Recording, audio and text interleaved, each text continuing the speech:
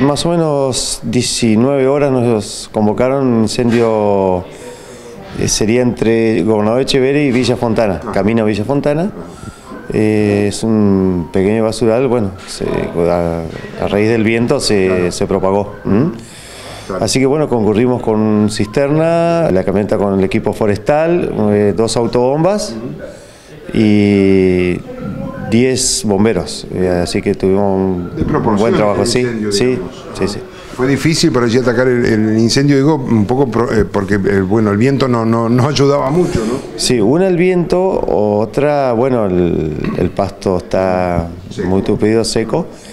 Y eh, era un lugar un poco inaccesible, o sea, nos costó mucho llegar al lugar. ¿eh? Muchos arroyos, eh, zanjones, no se podía llegar bien. Claro. Pero gracias a Dios lo pudimos dominar bastante rápido. Hay lugares a donde te cuesta más porque se agarra de abajo Claro. y, al haber tierra arriba, por más que vos le eches agua, no, Claro.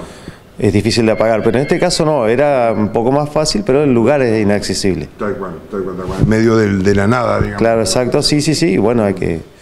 Los caminos uno no los conoce, el lugar para llegar uno no lo conoce. Y bueno, gracias a Dios ahí unas personas eh, nos indicaron cómo entrar, cómo llegar y lo pudimos dominar. Hay que tener en cuenta el día. O sea, el fuego no hay que encender.